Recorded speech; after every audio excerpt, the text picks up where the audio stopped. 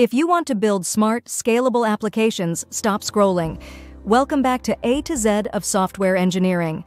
In today's video, we'll explore how AWS Lambda and IoT work together. The Internet of Things, or IoT, involves connecting everyday devices, sensors, appliances, wearables, to the Internet. But how do we handle all the data these devices generate? That's where AWS Lambda comes in.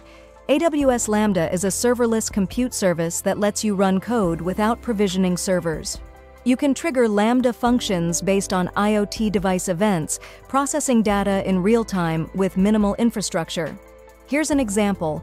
Imagine a smart thermostat sending temperature data to AWS. A Lambda function can trigger automatically to process this data and send alerts if it crosses certain thresholds. Using AWS IoT Core, you can easily manage and connect devices to AWS services.